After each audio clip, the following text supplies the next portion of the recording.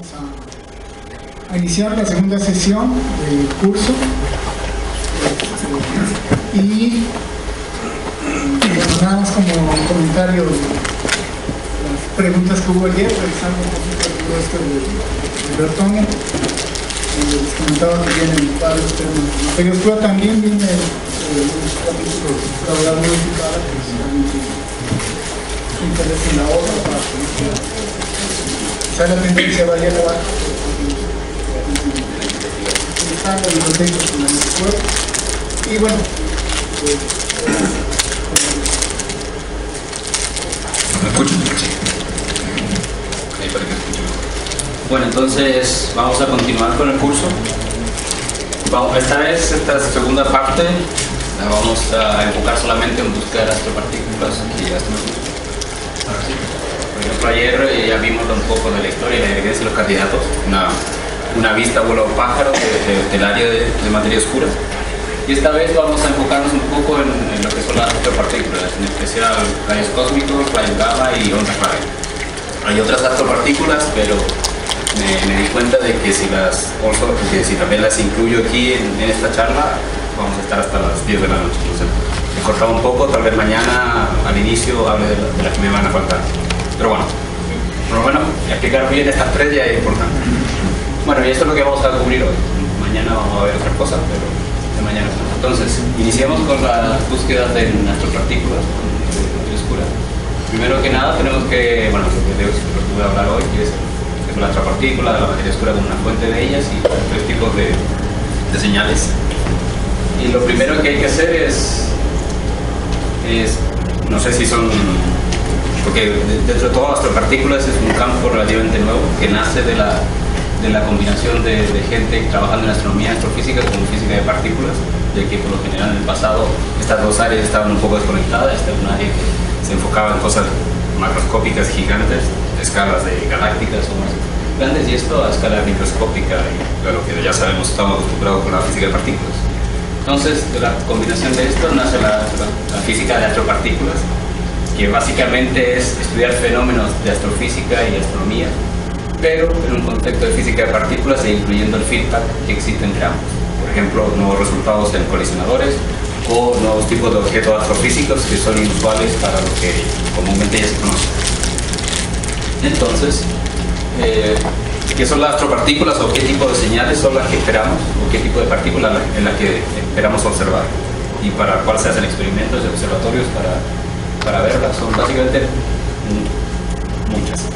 O sea, de aquí cada uno de estos puede tener su propio experimento y después las tienes que combinar y todo eso. Entonces, por ejemplo, en el caso de los rayos cósmicos, que son todas estas partículas cargadas que viajan a través del espacio intergaláctico, por lo general, por lo general son más eh, son cercanas a la Tierra, dependiendo de la energía, si uno se va a la escala del GeV, TeV, son rayos cósmicos que vienen del, medio galáctico. Pero si uno se va a energías de ultra, rayos cósmicos de ultra alta energía, que son del orden de 10 a la, a la 8 PV o EV, eh, estas partículas pueden venir de fuentes extragalácticas. Pero bueno, en este caso, los rayos cósmicos básicamente uno los puede definir, dividir en las que son tipos electrónicos, como los los positrones, o hadrónicos, como los protones, antiprotones y todo el resto de los núcleos pesados, que vienen acompañando también en la, parte de, rayos cósmicos. Por otro lado, tenemos todo el espectro electromagnético, partiendo del rayo gamma de altas energías, bajando energías a energías más pequeñitas, inclusive pasando por el visible. Esto sería lo que es estándar, de la manera más estándar sería conocido como astronomía óptica o de rayos X. También tenemos todo lo que tiene que ver con astronomía de neutrinos y ahora recién agregado que serían las ondas gravitacionales que se abre una nueva ventana para poder explorar el, el cosmos. Bueno, entonces, esto funciona. Entonces, una de las cosas que uno tiene que tener claro es que al analizar todo este tipo de señales, uno tiene que ir a un esquema que se llama de, de mensajeros múltiples o de multilongitud de onda. A lo que se refiere que si uno estudia el espectro, el espectro electromagnético para una señal específica, es mejor tener la información de lo que pasa a distintas energías o a distintas frecuencias de los, fotones. Lo mismo pasa en el contexto de, por ejemplo, de materia oscura, si uno quiere estudiar una señal de materia oscura, es mejor hacer una relación, una cross-relación entre lo que pasa en rayos cósmicos o en rayos gamma o neutrinos, todo al mismo tiempo, porque ahí uno tiene una señal más robusta, porque uno espera que dark matter aparezca en distintos canales o en distintos tipos de astropartículas. Bueno, entonces, ¿cómo es un... cómo básicamente eh, se se genera o se, se crea una señal de partículas de multimensajeros. Por ejemplo, en el caso astrofísico, nosotros tenemos distintos tipos de fuentes, que hay muchos tipos de fuentes y cada una con sus procesos físicos que da una señal o una, un espectro de energía, un espectro en, en, astropartículas que es distinto. Por ejemplo, esto es un eh, gamma ray burst, esto es como se ve la Vía Láctea en gamma rays. Cada uno de estos tiene su propia física y sus propios procesos que van a generar en distintas proporciones y en distintas energías, rayos cósmicos, rayos gamma y neutrinos. Después, una vez, esto es lo que sucede a la fuente. Una vez que estos rayos cósmicos escapan de la fuente, estas partículas escapan de la fuente, tiene todo el proceso que tiene que ver con propagación de estos rayos cósmicos o rayos gamma y cómo la interacción con el, con el ambiente. Esto quiere decir que, por ejemplo, un rayo cósmico, un, un protón, que sale aquí de una supernova, por ejemplo, al ir, al ir viajando a través del medio interestelar, puede interactuar con otros protones, tener scattering y producir otro tipo de rayos cósmicos. Entonces eso al final, a través de la propagación y, de la interacción con el medio, nos hace más difícil ver cómo es la fuente al origen, cómo se van esto deformando el espectro y, la escala de energía. Y una vez que sale esta parte, son de nuevo rayos cósmicos y lo que observamos nosotros, pero acá a la Tierra, donde aquí hay otro problema técnico, ya que dependiendo del tipo de, de astropartícula necesitamos o poner detectores en el espacio o tener detectores de una área muy grande sobre la Tierra o en distintas partes de, con distintas características, como bajo, bajo subterráneos o metidos en, las capas de hielo de la Antártica o en una meseta muy alta, como en el caso de Hawk. Entonces, en la, búsqueda, toda la aventura de encontrar estas partículas es bastante entretenida en ese sentido. Bueno, pero más que nada cuando uno habla de esto, cuando pongo aquí procesos y rayos cósmicos y, neutrinos, de hecho uno está pensando en partículas del modelo estándar, ya que en estos procesos, como hay, en esta, hay escala de energía que pueden ser más grandes, uno podría estar produciendo quarks y estos quarks a su vez van a producir una cadena de partículas que al final decantan en solo el el espectro de partículas estable que conocemos, que son los protones, electrones y rayos gamma. Entonces, por ejemplo, para recordar lo que vimos un poco ayer, era el caso de los WIMPs, y los WIMPs con el WIMP, eh, el Miracle, Miracle, que básicamente nos fija o nos da una, un orden de escala sobre la cross-section de, esta dark matter con, la, con las partículas del modelo estándar, que tiene que ser del orden de un PeV o 3 por 10 a la menos 26 para tener una buena reliquia para, para poder ser consistente con las observaciones de, la abundancia de, de, materia oscura. Y lo que sabemos es que para que sea consistente también, las partículas de materia oscura tienen que estar con masas en el orden del GeV o sea ese es el rango de energía. Eso es lo que hace muy entretenido la búsqueda de materia oscura porque la mayoría de los observatorios y experimentos que hay en la actualidad han sido preparados, aparte para hacer búsqueda de física más allá del modelo estándar, para funcionar en el rango de los GV, TV. Por ejemplo, la dirección indirecta, uno espera observar, por ejemplo, con el telescopio de radiograma Fermi, es exactamente el rango de energía que mide estos rayos gamma. Se podría ver en ese caso. También los experimentos de detección directa o los colisiones de partículas, están, todo esto están, en cierta forma están ajustados para que funcionen en el rango de, masas donde podría aparecer la materia oscura, lo cual lo hace muy eh, interesante porque uno podría ver la misma señal o una señal relacionada con materia oscura en distintos tipos de experimentos y así corroborar de una forma más eh, robusta si la materia oscura está presente o no, en, que, si la materia oscura tipo WIMPs está presente o no en el, universo. Bueno, pero ahora lo que nos queremos enfocar, ahora voy a hacer un pequeño zoom, un acercamiento sobre la, sobre la detección indirecta. Y en este caso, la detección directa, como lo ponía antes, simplemente uno lo, dibuja como dos partículas de materia oscura que se aniquilan y producen partículas del modelo estándar. Y estas son las que a su vez forman las partículas. Pero en realidad uno puede tener tres posibles escenarios cada uno más interesante que el otro. El primer caso, que sería el caso como los WIMPs, que es que la materia oscura se aniquila. Y en este caso, como había dicho, dos partículas de materia oscura se aniquilan produciendo partículas del modelo estándar. Por otro lado, tenemos otro tipo de modelos que, que se llaman de materia oscura decayente, en el cual el tiempo de vida media de la materia oscura es muy grande, más grande que la del universo, de 10 a la menos, o sea, de 10 a la 27 segundos. Esa es la cota inferior que hay en este momento. Y en este caso tenemos que las partículas de materia oscura simplemente con un tiempo de vida muy largo se van desintegrando y haciendo, generando partículas modelo estándar. Y por otro lado tenemos otros procesos que son los que se llaman de semi-aniquilación, donde de hecho, por, por, cómo está construido el sistema, eh, dos partículas de materia oscura se aniquilan, pero dan nacimiento a una de materia oscura. O sea, se van aniquilando en pares, pero se va apareciendo una. Entonces, en este caso solo se produce una partícula del módulo estándar y el resto otra de, del, del dark. En este caso son modelos que usan, por ejemplo, simetrías discretas, como por ejemplo una Z3 o, o simetrías no abelianas y cosas así, donde hay una, una tercera un número cuántico que no es simplemente partícula-antipartícula para aniquilarse, sino que hay un, un tercio, digamos, de número cuántico dando vuelta en el, en el proceso. Pero bueno, nos vamos a enfocar básicamente en estos dos tipos que son los más comunes y los cuales hay más información acerca de ellos. Entonces, primero es el caso de la, de la materia oscura cuando se aniquila, y en este caso la fuente de, de, astropartículas viene dado por esta expresión, donde esto es el término de fuente, o sea, aquí uno hace el, este es el número de partículas que se produce por segundo, por unidad de energía y por volumen. Y podemos aquí ver tres, tres cantidades que las voy a explicar ahora. La primera es la sección de aniquilación, la sección eficaz de aniquilación, que está relacionado, en el caso de los WIMPs, esto está relacionado con la relic abundance.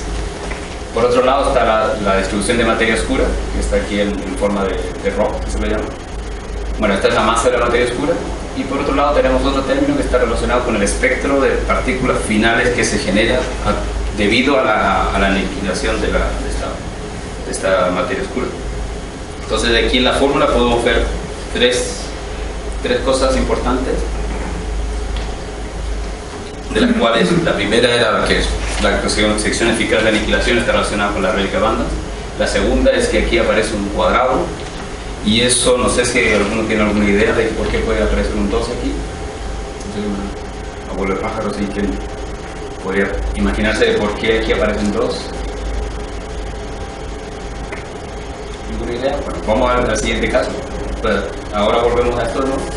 Y el tercer término, que era la organización, esto es la parte más, digamos, complicada de, de, la, de la, aniquilación de materia oscura, ya que, voy a ir aquí al pizarrón un poco,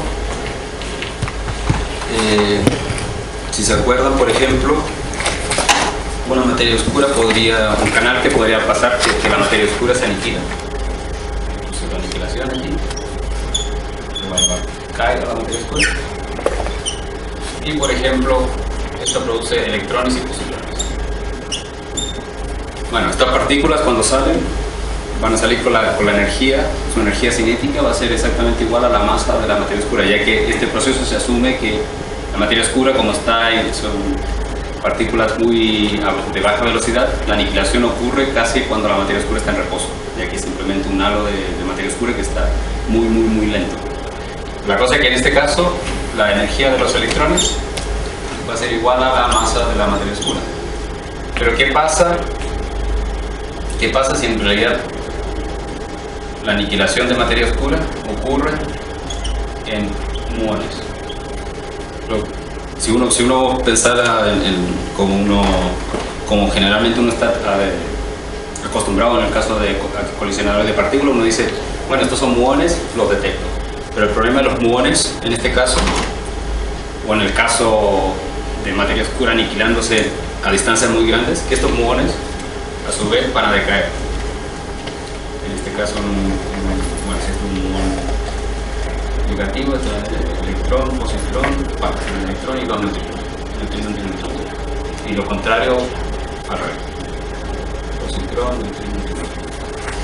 Esto técnicamente uno puede calcular el decaimiento de un muón en electrón y dos antineutrinos, es una fórmula conocida. Pero el problema se empieza a complicar cuando en vez de que la materia oscura se aniquile en muones o en partículas que más o menos sabemos cómo decae, se aniquila, por ejemplo, en, en un, por ejemplo, en un quark up y un anti-quark up. Ahora no sabemos, en principio estas partículas son estables, pero llevan energía. Pero por otro lado, como son partículas de color, entre ellas hay un tipo de interacción fuerte y esto va a generar lo que se llama un proceso de hadronización. Significa que este par, quark, antiquark, al final se va a transformar en un, en un montón de partículas, por lo general piones de todos los tipos, eh, protones, eh, dependiendo de la cantidad de energía que hay disponible, electrones y toda la, la, la lluvia de partículas que va a generar este tipo de procesos. Y así con procesos cada vez más complicados, por ejemplo, top, bot, eh, top quarks y todo y toda la zoología que hay en el modelo estándar. Para eso, esta parte que, se- que está aquí, que eso básicamente quiere decir el número de partículas por unidad de energía de la especie que estoy interesado. O sea, si quiero saber cuánto es el- la cantidad de electrones que se producen a 100 GeV, a 100 GeV, por ejemplo, para un cierto tipo de materia oscura, tengo que calcular cuánto es el número de electrones que hay a 100 GeV, que se producen a 100 GeV, o de positrones. El problema para esto, si es que la materia oscura se aniquila y produce quarks, es que vamos a tener que simular, modelar todo el proceso de hadronización y los decaimientos que ocurren. Por lo general esto se, se usa, se, se, se calcula, se están usando Monte, Monte Carlos de física de partículas como por ejemplo Pittia o Herwig. Y la idea es que cada vez que haya un modelo nuevo habrá que estar viendo cómo se comportan a este nivel tu, modelo de partículas, de física de partículas y el tipo de astropartícula que quieres observar. Entonces, eso es más o menos la idea general para el caso de la como fuente de astropartículas, pero en el caso de decaimiento, la fórmula es un poco distinta, pero sigue teniendo la misma forma. Es un término que sim- simplemente está relacionado con el tiempo de vida media de la, de la materia oscura. Otro término que está relacionado con la distribución de materia oscura y su masa, que básicamente este término, que es la densidad de energía, partido por la masa de la materia oscura, quiere decir simplemente la densidad de número de, de partículas de materia oscura que hay en, en- unidad de volumen. Y aquí de nuevo tenemos el término de hadronización. Entonces, por ejemplo, si comparamos las dos fórmulas, en este caso, como decía antes, aquí tengo un número un cuadrado y en este caso tengo un número 1. ¿Esto a qué estaría relacionado? Básicamente lo que nos está dando la indicación es que en este caso re- requerimos que, y como hay una sección eficaz, requerimos que hayan dos partículas de materia oscura que se encuentren para poder aniquilarse. Y en este caso, como la materia oscura le da lo mismo está haciendo el resto de la materia oscura, no va a interactuar, no va a aniquilarse, simplemente está ahí estática, decayendo a una, a una tasa muy, muy lenta.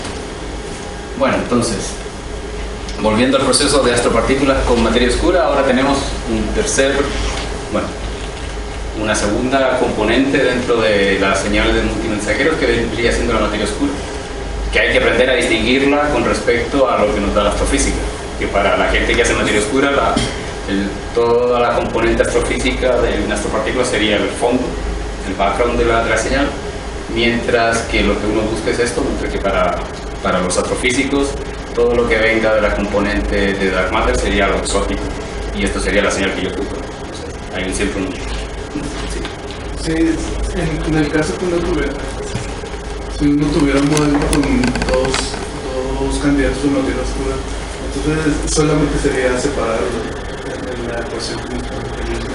Sí, es, O se- yo creo que se pone más complicado. depende que, a qué te refieres con dos partículas, Sí, dos dos candidatos. Sí. que son estables y que sobreviven a esta época.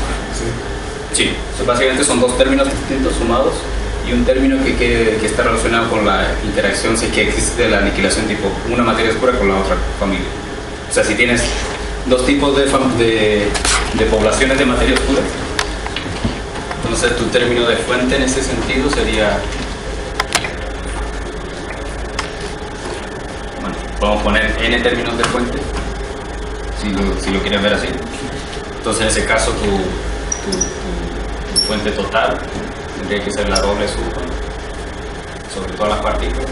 La población para ahorrar espacio sobre todas las partículas y de tu sección eficaz de aniquilación de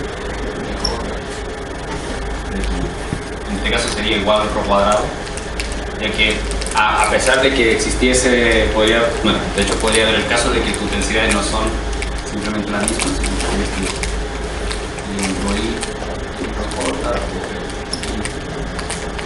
que la potencia de número y después ver cómo esto se termina transformando en, el, tipo de partícula que tú quieres. Que esto va a depender de la señal en sí. O sea, por ejemplo, si tú tienes un caso de materia oscura donde tu materia oscura se aniquila y te produce, bueno, la materia oscura 1 te produce neutrinos y tu materia oscura 2 te produce, por ejemplo, quarks.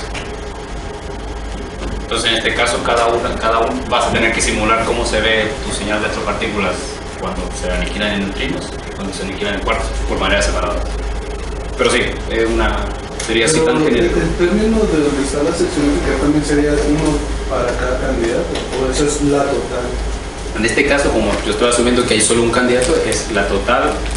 De hecho, sería la sección de aniquilación para el canal que está ocurriendo.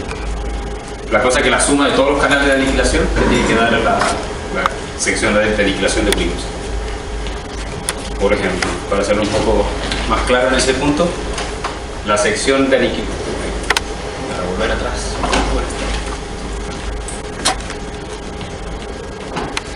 En este caso, como decía, si yo quiero el tipo de, de fuente que va en rayo gamma,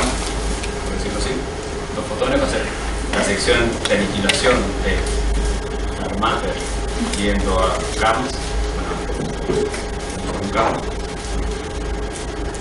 Eh, perdón. Digamos que, que, en realidad tú quieres ver la cantidad de fotones que se producen aquí, pero tu Darmater produce quarks, antiquarks, sería la sección de aniquilación solo en ese canal por, bueno, el cuadrado al cuadrado para el caso donde tú tienes que la señal PV bar, bar te produce fotones. La cosa es que esto tú lo puedes ver para otra, digamos que tu materia oscura tiene varios canales de aniquilación, entonces esto tendría que sumarlo con el canal de aniquilación que va en, eh, muones y aquí los mismos términos más toda la cross section. Y la cosa es que al final si tú quieres estudiar WIMP la, la cross section total que es más o menos tiene que ser del orden de 3 por 10 a la menos 26 centímetros cúbicos por segundo tiene que ser igual a la suma de todas las secciones eficaces de todos los canales de aniquilación que tiene que tiene eso es lo que básicamente es la, cada canal distinto tiene que al final sumar, para poder reproducir la réplica de bandas, tiene que sumar este valor. Ahora, si tú estás haciendo un análisis sobre, sobre un experimento, no es necesario implicar, asumir de que este valor es así, simplemente tú estás analizando un canal por separado. Pero, sí. Bueno, un poco, un poco siguiendo con, con esto. Bueno, en el caso, entonces, como pueden ver, hay dos casos radicalmente un poco que son distintos. En el caso del eh, decaimiento de materia oscura, tenemos que la energía accesible en realidad es la mitad de la masa de la materia oscura, porque aquí ya se ve que, por ejemplo, el centro, el centro de masa, el centro de energía, la energía total del sistema básicamente es dos veces la masa de la materia oscura, mientras que acá es simplemente la mitad. Entonces, uno espera señales que tengan eh, distintos rangos de energía para una misma masa de materia oscura. Bueno, como decía antes, en el caso cuando uno ya incluye materia oscura dentro del juego de las astropartículas, ahora entra como una nueva fuente, que hay que saber distinguir con, con, con, lo que sucede con, los, con todas las fuentes astrofísicas de las mismas partículas, los mismos rayos cósmicos, y también incluir lo que pasa con la propagación y entender lo que está pasando a la Tierra cuando uno observa todas estas señales. Entonces, por ejemplo, vamos a partir primero con primer tipo de, astropartículas, que son los rayos cósmicos. Estos rayos cósmicos son partículas cargadas que se propagan por el medio interestelar interactuando con los campos magnéticos galácticos y tienen una información muy interesante que está relacionada con la abundancia de los elementos. Por ejemplo, aquí en este plot tenemos la abundancia relativa con respecto al silicio y aquí tenemos el número atómico de las distintas especies de, de rayos cósmicos que hay. Y en este caso, como pueden ver, la estimación, o sea, lo que se observa con rayos cósmicos son los puntos rojos, mientras que lo que se observa con el, el- el círculo azul son la abundancia que se estima en el sistema solar. Y lo primero que podemos ver es que la abundancia de, de- de ambos, de ambas especies son más o menos iguales, excepto en dos, más o menos en dos partes. Que esto está relacionado a que en el sistema solar la- la- los tipos de abundancia son las formadas cuando ocurrió con la formación de este, pero los rayos cósmicos al irse propagando por el medio inter- interestelar y, y al ser afectados por la propagación y los efectos del ambiente galáctico, como por ejemplo las nubes de, de helio y de hidrógeno, van a empezar a, a tener procesos de espalación que se llaman o de producción de otros tipos de especies. Dos protones se van a poder, bueno, en este caso un, un- un carbón, un carbón va a poder interactuar con un hidrógeno y se va a romper dando, dando origen a litio, berilio y, bario. No, es boro. Es litio, berilio y boro. Mientras que en otros tipos de partículas, que estas son más, más pesadas, van a empezar a otro tipo de procesos que va a generar este tipo de abundancia. También núcleos eh, que, que son eh, inestables también van a empezar, van a poder producirse en este tipo de contexto y después ir decayendo y dar, dar información de cuánto tiempo y en qué volumen del espacio estos rayos cósmicos han estado, han estado propagándose. Entonces, por ejemplo, este tipo de in- información es muy útil para saber cómo se propagan los rayos cósmicos. Desde el punto de vista de materia oscura, no importa mucho como fuente, porque lo que esperamos es que la materia oscura no sea capaz de producir átomos pesados, núcleos, de, núcleos tan pesados, al, al máximo podría producir este tipo de helio y, y hidrógeno, pero a una tasa tan pequeña que es prácticamente imposible de observar experimentalmente. Pero bueno, entonces, la- la- entonces para si uno quiere ajustar su, modelar la propagación de rayos cósmicos y quiere ajustarse a las observaciones, los observables que son clave para este tipo de análisis son el- el- el- la razón entre el boro y el carbón y los, la razón entre los elementos del fierro con fierro, que son estos que están acá y estos que están acá. Estos van a dar mucha información sobre, sobre distintas partes del- de la propagación. Por ejemplo, en este, en este gráfico tenemos el- el- esta razón boro sobre carbón y esto tenemos la energía versus la energía de los rayos cósmicos de la especie que, de boro y carbón, la energía cinética. Entonces lo que podemos ver es que cuando compilamos todos los datos experimentales que hay hasta ahora, eh, todas las, todos los datos experimentales siguen esta curva. Y esto está relacionado básicamente con por cuánto tiempo los rayos cósmicos están propagándose en el, en el medio. Lo mismo pasa aquí con el boro sobre el carbón, eh, o sea, con el hierro sobre los elementos bajo el hierro con, con el hierro, que todos siguen una misma tendencia y estas, las líneas son los modelos de propagación que actualmente se manejan. Estos son distintos datos del Boya y distintos elementos de, de, de- de globos aerostáticos para cósmicos. Mientras que acá, las distintas líneas, que eso se me olvidó pasar, eh, decir, está relacionado con distintos puntos del espacio parámetro de propagación. Por ejemplo, el L quiere decir cuán grande es el halo magnético por donde los rayos cósmicos están o propagando de manera caótica.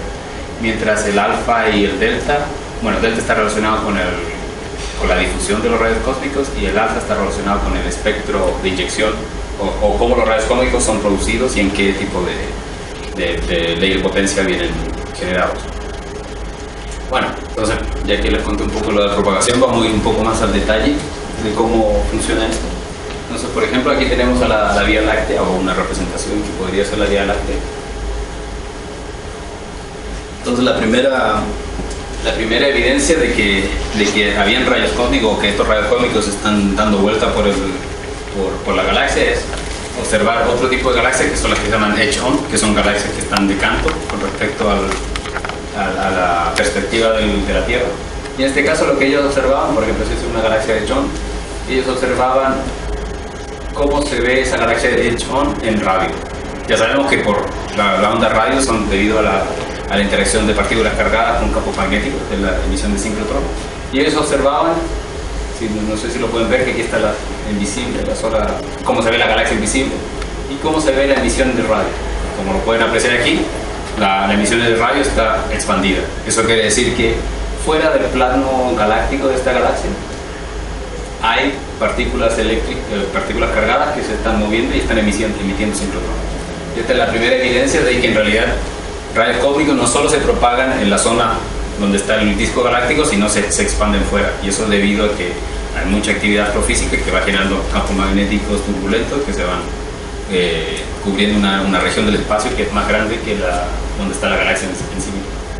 Entonces, por ejemplo, lo que, lo que contaba, que hay un, un campo magnético turbulento y, y, lo que pasa cuando hay un campo magnético turbulento y ponemos una partícula, bueno, es más o menos para el caso de la, de la Vía Láctea, la Vía Láctea, la geometría es de 20 kiloparsecs de radio y del, el, el, la altura de este volumen magnético puede fluctuar de 1 hasta 14 kiloparsecs. Bueno, la cosa es que si ponemos una partícula cargada dentro de este campo magnético turbulento, se va a propagar no como una, en una línea recta como pensamos que ocurre lo, lo, que hacen los neutrinos y lo que hace la luz, sino va a empezar a, a, propagarse moviéndose, siguiendo las líneas de campo, pero como es turbulento, no tenemos la certeza de que podemos retroceder y saber cuál es el origen sí, de los rayos cósmicos. Este un, se va transformar en un proceso de, de difusión de partículas, que es lo que uno, es cómo se modelan los rayos cósmicos a las energías del GeV. Entonces, cómo esto se modela en sí, ya aquí entramos un poquito más de matemáticas y lo que está relacionado con la física matemática. La propagación de rayos cósmicos en este caso se modelan usando una, una ecuación de transporte, que es esta que está acá, que como pueden ver ya la, se parece mucho a lo que es, por ejemplo, el tipo de ecuaciones como la ecuación de Schrödinger o la ecuación de difusión del calor, por ejemplo.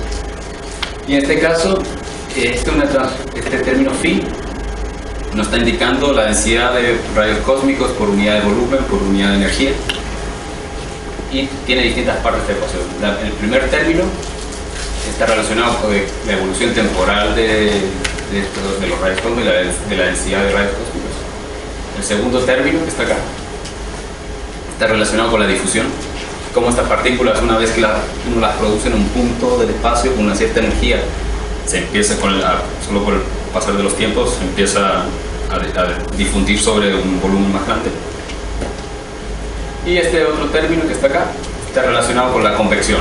¿Qué, ¿Qué significa convección? Estos son los efectos relacionados con el viento con el viento galáctico, donde los rayos cósmicos se ven atrapados y se pueden, se, se los, básicamente se los, se lleva el viento, pero fuera de la zona galáctica, por ejemplo. Para pintarlo de una manera más entendible, tenemos, digamos, este es el volumen donde viven los rayos cósmicos, un cilindro. y tenemos el disco galáctico en el centro. Aquí es donde están todas las estrellas y todo el gas nosotros. El primer término de difusión. Básicamente nos está diciendo que si ponemos un si ponemos un rayo cósmico en una cierta posición y en, una cierto, y en un cierto tiempo, con una cierta energía, después de un cierto tiempo, este rayo cósmico en realidad como aquí en este caso estamos trabajando con la densidad de nubes, es una función, después de un cierto tiempo este, este rayo cósmico va a tener una probabilidad no nula de estar en cualquier, en cualquier parte de este volumen de, y esto solo debido a la difusión, simplemente que se está moviendo por las líneas de campo magnético de manera caótica. El segundo término está es la difusión. El segundo término, que es la convección, está relacionado a que la actividad galáctica sobre el disco constantemente produciendo radiación y moviendo el campo magnético hacia afuera. Y lo que va a pasar es que rayos cósmicos que estén ubicados en esta zona, por ejemplo, van a tender, aparte de difundirse, como, como ocurriría con la, usando la difusión, pero también van a tender a, a escapar de la, de la, zona debido a que el viento se los está llevando. Entonces esto va a hacer que al final los rayos cósmicos se, se escapen. Lo, una cosa que no, he comentado aquí es que cuando uno asume que este volumen es el, la zona de difusión de los rayos cósmicos, también uno asume que cuando un rayo cósmico llega al borde, simplemente escapa libre. ya no hay forma de que vuelva al, cilindro, esto debido a que los campos magnéticos fuera del cilindro son tan débiles que no son capaces de confinar el- la población de radiocósmicos. Pero bueno, el, ter- el tercer término que está acá es la evolución de energía, que eso está relacionado con cómo los radiocósmicos pierden energía. Si estamos considerando sincrotrón, cada vez que el electrón está moviéndose, está emitiendo, perdiendo energía, entonces su energía inicial y su energía después de un cierto tiempo ya no va a ser el mismo, va a ser menor. Pero aquí solamente en, en evolución de energía no es simplemente sincrotrón, también tenemos inverse compton, scattering de inverso, que es relacionado de, por ejemplo, rayos cósmicos interactuando con el campo de radiación, como el, el fondo cósmico de microondas, o el ultravioleta, o el infrarrojo, que está relacionado con la actividad astrofísica. También con emisión de pérdida de energía por Bremsstrahlung, ya que hay gas interestelar, cada vez que pasan cerca emiten eh, rayos X y, y otros, tipos de procesos, otros tipos de procesos. También, no solo la evolución de energía quiere decir que un rayo cósmico pueda perder energía, también lo puede ganar. Y eso es cuando lo que se llama eh, reaceleración, reaceleración por, por, por eh, difusiva. Que eso está considerado en el caso de cuando los rayos cósmicos están, están viajando por el medio interestelar, por la zona donde está el gas. En el mismo gas van ocurriendo de vez una cierta tasa de, de, sucesos, van ocurriendo eh, eh, eventos de supernova. Estos eventos de supernova van produciendo ondas de choque, y esas ondas de choque se siguen propagando por, todo, por mucho tiempo. Y cada vez que un rayo cósmico que va pasando por ahí se encuentra con una onda de choque, puede adquirir un poquito más de energía. O sea, aparte de ir perdiendo, puede a veces ir ganando energía. Entonces, esto, este término hace que sea un poquito más complicado ver cómo se, cuál es la forma final de esto, porque no sabes bien si tu electrón viene, el electrón que estás observando de una cierta energía a la Tierra viene de una fuente de una energía superior o de una fuente con energía inferior. Pero por lo general es que eh, los electrones tienden a perder más energía de la que ganan para, para esta especie. Otras especies tienen un efecto contrario.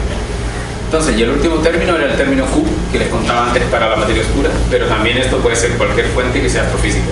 Una, eh, la emisión de, de, ciertas partículas por supernova, por remanentes de supernova o por, o por otro tipo de procesos tipo gamma rays burst, eh, lo que sea. Pero esto es solamente para rayos cósmicos. Y para agregar un poquito más de, para ir a un nivel un poquito más complicado, cuando uno resuelve este proceso para, cuando uno resuelve la, el tipo de radio cósmico, la densidad de radio cósmico para una especie, en realidad uno tiene que considerar que hay muchas especies y lo más probable es que estas especies estén acopladas. Por ejemplo, cuando uno considera rayos cósmicos eh, nucleares, de, de, núcleos pesados, uno va a tener que los núcleos pesados, por la interacción con el gas, van a empezar a ir a núcleos más ligeros. Entonces, técnicamente, una fuente de, por ejemplo, cuando uno considera los rayos cósmicos tipo eh, boro, que son este ratio, este razón boro sobre carbono, también uno tiene que incluir la fuente, que significa todos los carbonos que se han transformado en boro a través de procesos de interacción con el gas. Entonces, digamos que esto es un problema, no es fácil de resolver, por lo general se resuelve numéricamente, donde uno tiene todo este tipo de ecuaciones acopladas y, y va con un nivel de, precisión adecuado. Bueno, entonces, pasemos un poco lo que les contaba antes sobre, el, sobre los, las razones de cómo, cómo jugar con los parámetros del espacio de propagación, del modelo de propagación. También existe la razón eh, antiprotón-protón, que esto es un caso ya no un poco más relacionado con materia oscura. Pero, ¿por qué? Producir antiprotones naturalmente en la galaxia es muy difícil, ya que como sabemos, la galaxia está compuesta básicamente de materia y no de antimateria. Entonces cualquier tipo de antiprotón que observemos a la Tierra va a estar relacionado a que ese antiprotón viene de un proceso donde, por ejemplo, dos protones chocan, un rayo cósmico y un hidrógeno del medio interestelar, y dan nacimiento a un antiprotón. Entonces eso también te da, nos puede dar información de cuánto tiempo estos rayos cósmicos han estado viajando o cuán, de cuán cerca han sido producidos. Por ejemplo, esto es lo que, estos ya son datos más recientes sobre este, esta razón antiprotón-protón. Tenemos todos los datos aquí que están, todos siguen un, patrón muy bonito. Y estos son modelos teóricos, o sea, de la propagación de rayos cósmicos, calculando y viendo cuál es el espacio de parámetro que funciona en este caso. Como decía, esta es la razón y esta es la energía cinética de los antiprotones y protones. Entonces, lo típico es que uno tiene un volumen en el espacio de parámetros que es compatible con la observación. A pesar de que las observaciones son más o menos precisas, el volumen del espacio de parámetros del modelo de propagación puede ser un poquito grande. Y lo típico es que se asumen tres tipos de benchmark, modelos de benchmark. Que lo que están diciendo este modelo que se llama MIN, que tiene la altura del, del halo de difusión, este, esta coordenada L que, le, que al inicio lo puse, pero aquí lo puedo dibujar para que sea más claro. Le voy a llamar L. El término que, aquí se llama K0, que es el término que está acá, que está relacionado con la difusión. Y el término delta, que está aquí, es ese que está aquí, que es como la dependencia de energía de la difusión. Pero bueno, la cosa es que en el primer caso, para este modelo 1000, básicamente está diciendo que la altura de este, de este cilindro es de un kiloparsec y la otra términos de difusión van relacionados, el que dice MEN, MED, sería 4, y el otro que está ahí es 15. O sea, básicamente tiene una incerteza gigante, o lo que nosotros diríamos que sería gigante, para saber cuán grande es este halo magnético, de que, donde está la, la Vía Láctea. Pero en este caso, como también se compensa con los efectos de, de propagación relacionados con la difusión, eh, al final todos estos modelos dan una cierta señal que está muy bien en, en acuerdo con los datos. Pero siempre hay que estar en- atento de que para nuevas especies de radiocósmicos hay que siempre aju- ajustarse a todo el, el rango de- de- del espacio de parámetros. Pero bueno, ahora vamos a ir a un caso un poco más simple que estar, podría estar relacionado con materia oscura, o quizá no, que es lo que siempre pasa con las partículas, cualquier señal que aparece siempre se juega el doble juego de ser, puede ser astrofísica o puede ser materia oscura, especialmente cuando es algo que no se espera. Y eso es lo que le da mucho, mucha vitalidad al área porque, de cierta forma, la parte de, rayos cósmicos se ha, sido beneficiada muy grande por la parte de materia oscura, por el hecho de que los modelos que antes ya no se estaban desarrollando, por- porque no había tanta motivación de, seguir estudiando rayos cósmicos a un nivel de precisión más grande, fue motivado en cierta forma por señales anómalas que podrían ser relacionadas con materia oscura. Entonces entró en, en un loop virtuoso, un feedback virtuoso de mejorar la propagación y a su vez tratar de descubrir materia oscura, pero en, en muchos casos la señal no era de materia oscura, era de una fuente astrofísica que no, que no había sido estudiada con detención y así siempre va mejorándose el sistema. Justo tenía una pregunta más o menos en esa línea de la anterior. Eh, entonces, uno puede tener antiprotones eh, porque cuando chocan dos protones pues pueden dar muchas cosas. Por ejemplo, puede dar dos protones, pero pues también puede dar eh, tres protones y un antiprotón, ¿no? Depende de la energía. Entonces hay un análisis detallado para ver si eso es compatible con la señal que uno llamaría estándar o si hay gastos de, de- de posible producción por materia oscura. En este caso, por lo general, la componente de materia oscura que, que- que agrega en, el- en este- en esta razón es casi despreciable. Que hay que estudiar más que nada. O sea, si uno pone materia oscura y la trata de que sea muy dominante la señal, claramente va, a cambiar, por ejemplo, zonas en, este- en- en el extremo. Podría haber una señal, un- un- una pequeña desviación debido a que la materia oscura está produciendo antiprotones. Pero por lo general, para todo el resto del espectro, eh, la materia oscura no, no interesa tanto. Lo mismo pasa, por eso la gente lo, realmente hace el cross-check no solo con los antiprotones, pero usa también espec- el- la razón de otros núcleos más pesados, porque aquí seguramente no hay un- una componente exótica que está generando más boro que, que lo que uno espera de, de la interacción del carbón con el, con el medio interestelar. ¿Cómo miden el flujo de, de núcleos? Un detector tipo Porque si son de alta energía, interaccionan con la atmósfera y si son de baja energía, pues no puedes integrar la No, por lo general estos tipos de núcleos, dependiendo cuál es el target, la- el objetivo, eh, son, por lo general los de núcleo, los experimentos del observatorio de núcleo son experimentos de balón a- atmosférico, estratosférico. Mandan el detector tan alto en, en la atmósfera que ya la componente de la atmósfera ya no, no tiene un, un rol tan importante para disminuir la- el flujo de rayos cósmicos. También tenemos experimentos como los que ya está el, el AMS, que está en la Estación Espacial Internacional, que está directamente en el espacio. Sí, sí, Entonces- Pamela y Ves también, pero, Claro. pero estos Esto por lo general son los experimentos tipo BES y, y, y, bueno, AMS, la primera versión de AMS también mide núcleos y son valores de globos aerostáticos que están 5 o 6 kilómetros sobre, sobre el nivel del mar, donde ahí ya el flujo es más fácil de, de que la atmósfera no te lo destruya. No más de una separación entre uno y otro, porque integras carga. No, es sí, muy sí, sí. preciso. Por eso cuando los primeros datos, lo ves aquí, tienen solamente energías más bajas, empieza a ser complicado ver la, la estadística es baja y el otro- bueno, aquí está el problema que el, el- el flujo es, el, es la razón entre los dos flujos. Cuando ves los flujos tienes un poco más de, de incerteza, que se van cancelando a ser la, la razón. Gracias. Bueno, entonces, ¿dónde estábamos? Estábamos en estudiar el caso de electrones positrones. O sea, esto fue un... La señal en sí ya tiene, diría, por lo menos 8 o 10 años, la- el primer indicio, que existía un exceso, una anomalía en el, en el flujo, que era la, la razón entre, entre eh, positrones y electrones. O sea, lo observable que les voy a mostrar en este caso es eh, porque era más fácil de, reducir las incertezas, era básicamente el que se llama la fracción de positrones, positron fraction en inglés, que viene siendo el flujo que se observa en, en positrones. Positrones, están contando la energía. Energía. Y aquí tenemos el, de positrones por la energía de los positrones dividido por la suma del flujo de positrones más el flujo de electrones. Todos a la misma energía. Entonces esto es la señal que, que, se observa.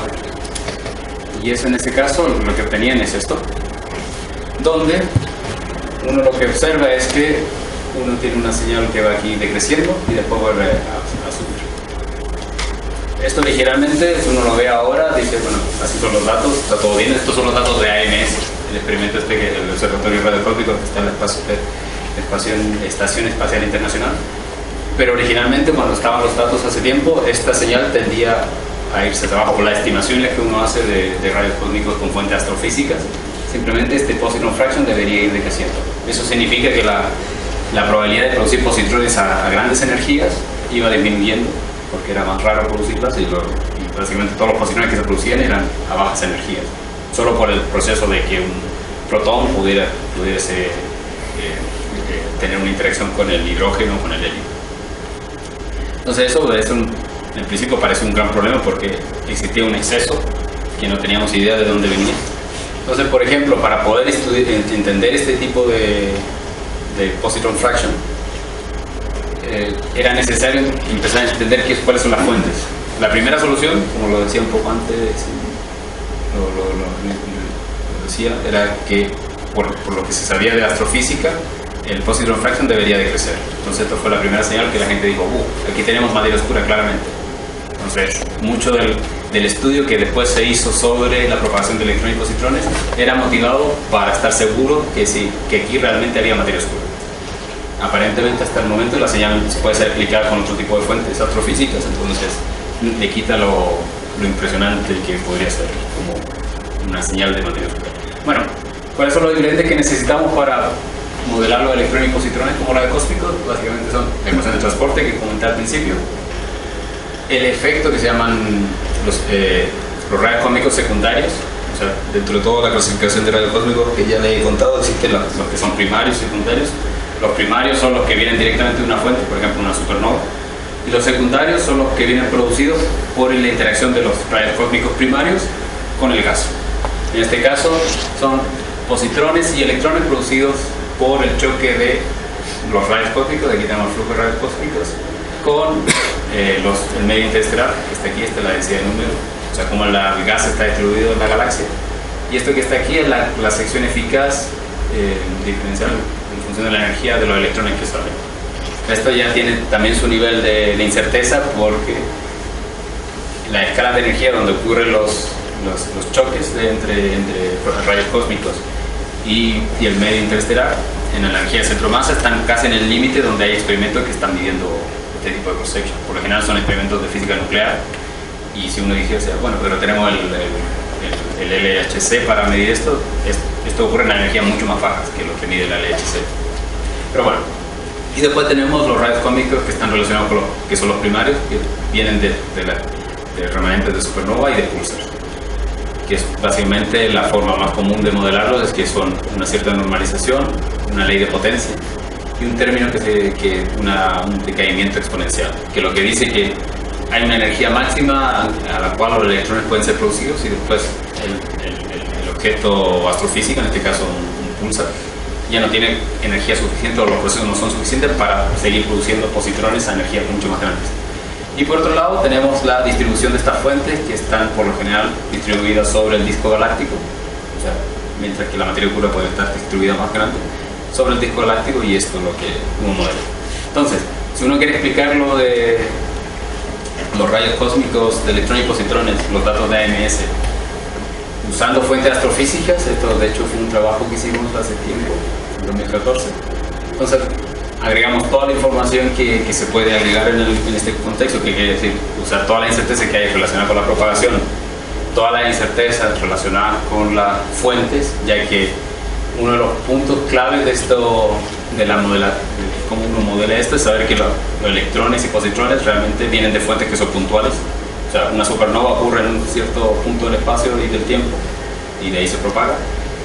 Mientras que el método antiguo era simplemente asumir de que los electrones positrones son producidos homogéneamente con una cierta distribución espacial, pero homogéneamente, continuamente en tiempo. Entonces eso te, da una, curva que es suave, pero uno realmente quiere ver que hayan pequeñas estructuras debido a que porque las fuentes son discretas. Bueno, y eso es lo que incluimos aquí y, y, básicamente lo que pongo acá es que uno puede explicar los flujos de, en este caso es el flujo de, de electrones versus energía, son todos los datos que hay. Y en este otro caso el flujo de positrones eh, versus la energía, que son datos. Lo interesante de este caso es que aquí no es necesario incluir materia oscura, porque ya hemos llegado a un cierto nivel de madurez sobre el entendimiento de lo que está sucediendo la, a nivel galáctico para producir este tipo de, estos dos tipos de, de rayos cósmicos. Pero también Ahora podemos incluir qué pasa si ponemos un, halo de materia oscura, que es lo que se espera que tenga la, la, Vía Láctea. En este caso, los rayos cósmicos pueden ser producidos ya no solo en esta zona donde está la fuente de astrofísicas, sino de cualquier parte del volumen donde el, halo de materia oscura se extiende. Entonces podemos tener en este caso que un electrón, positrón o, o protón antiprotón puede ser producido en esta zona, muy lejos del disco galáctico y por proceso de difusión al final va a estar viajando y puede llegar a la Tierra. Entonces en este caso la fuente, lo que les contaba antes, cambia, ya no es la fuente astrofísica que son las que les conté aquí. Esta vez son fuentes de materia oscura con los canales de aniquilación, lo mismo que les conté anteriormente.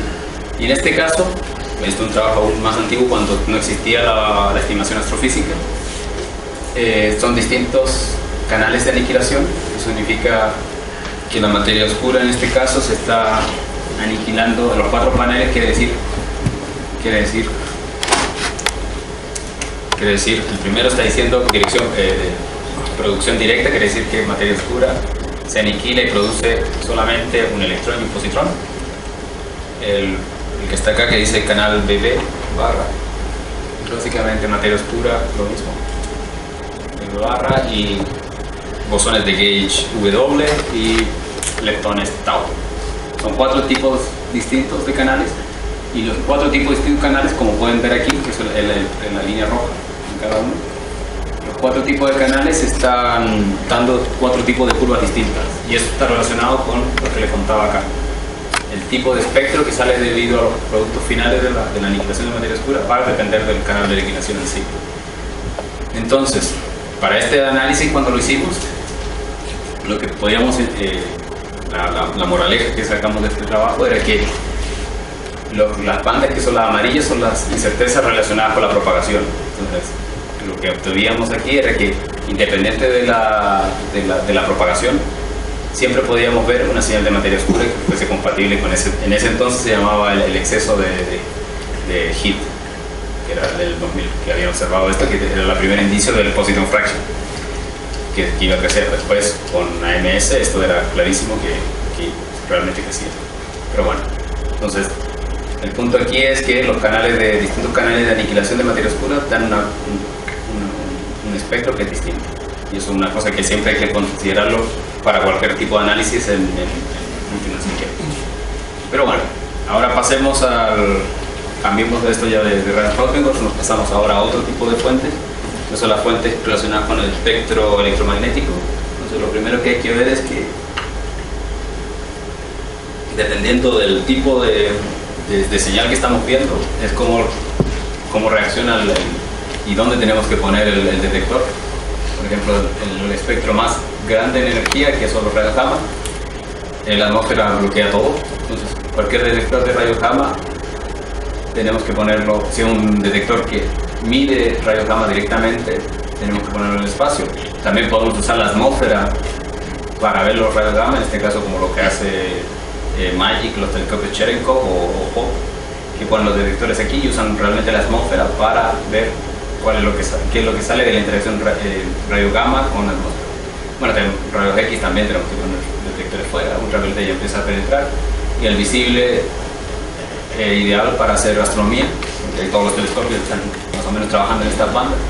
El infrarrojo viene bloqueado, si uno quiere tiene que ir al espacio, por ejemplo con, el, con los satélites tipo Planck, CODE y todo eso, veían dentro del espectro un poco de espectro eh, infrarrojo lejano y después se pasaban a las ondas microondas y las ondas radio, que también dependiendo de la frecuencia es necesario poner un detector fuera del espacio o poner antenas como los radiotelescopios. Entonces, todo esto nos da un espectro muy amplio y en todo esto la materia oscura podría tener una pequeña contribución a la señal. Entonces, ¿cuál es la gran diferencia entre, entre la propagación de rayos cósmicos y la propagación de rayos gamma? Es que básicamente los, rayos gamma, bueno, los fotones, se propagan en línea recta. O sea, por lo menos vamos a tener información direccional de dónde, de dónde vienen estas partículas. En el caso de los rayos cósmicos, la perdemos porque difunden. Entonces, en este caso, si estamos aquí a la Tierra, vamos a poder saber si un, si fotón viene de esta, estrella que está acá o de esta galaxia, o si viene del medio galáctico o de otras regiones. Cuando uno agrega halo de materia oscura, por el mismo proceso que contaba antes de que la materia oscura, por ejemplo, aniquilándose en, en un par de quark B, y esos quark B van a radiar al final fotones, uno va a poder observar si hay fotones que vengan de, una, de zonas compatibles con el halo de materia oscura que tiene la Vía Láctea también uno puede ir inclusive un poco más lejos. Y como sabemos que muchas de las galaxias y muchos de los eh, clústeres de galaxias tienen una de materia oscura, podríamos esperar de que haya rayos gamma que, que vengan de estas fuentes extragalácticas. O sea, aparte de, fuente, de otras galaxias, pueden venir de la materia oscura que está en otras galaxias. Entonces, ¿cuál es la diferencia en este caso cuando uno quiere estudiar el flujo de, de, de rayos gamma o de fotones? Las fórmulas siguen siendo similares. O sea, el, el, término de fuente que les contaba antes es exactamente igual. Aquí tiene la cross-section de aniquilación, el, cómo se organizan en fotones. Pero por otro lado tenemos que, como los, las fuentes astrofísicas tienen, están distribuidas espacialmente y lo más probable es que nuestro detector no tenga una resolución angular lo suficientemente pequeña como para poder seguir las pequeñas diferencias que hay con la distribución. Por lo general hay que integrar sobre un ángulo, a un ángulo sólido la fuente de materia oscura, que es la distribución de materia oscura. En este caso, para aniquilaciones, es la densidad cuadrada. Entonces, en principio, en este, el, la, lo bueno del, del, del, del, análisis en este caso es que uno puede dividir el problema, o sea, el flujo de fotones en dos partes. Una que está relacionada con la física de, de, de partículas que uno está pensando, ya que un candidato de materia oscura que uno, que, no sé, por ejemplo, de supersimetría con neutroninos, las tasas de, aniquilación de estas partículas en el modelo estándar va a depender de punto en punto del espacio parámetro. Por otro lado, la segunda parte es lo que está relacionado con cómo la materia oscura está distribuida y cómo los modelos de formación de estructura nos dicen que va a estar distribuida y qué es lo que esperamos que sea esto para, por ejemplo, una galaxia enana eh, esferoidal que, está, que son, están relativamente cerca de la, de la Vía Láctea. Entonces, vamos a pasar a las búsquedas en rayos gamma. Y en este caso vamos a partir con una señal que no existía, que es el, exceso en la línea de 130, un poco para mostrar que, como lo que ocurre con en física de partículas con el, con el exceso de el diphoton excess de 750 GeV, lo mismo puede pasar con detectores de radio gamma. Y en este caso lo que se observaba es que había una señal a 130 GeV que parece, aparentemente era una, una, una producción monocromática de rayos gamma Eso era una, una señal en lo que se llama que es una, un smoking gun para buscar materia oscura con rayos gamma, porque lo que uno espera es que la mayoría de los procesos astrofísicos, cualquier fuente astrofísica, a la fuente en, en rayos gamma, siempre va a ser el flujo que salga de estas partículas, por lo general son tipo ley de potencia.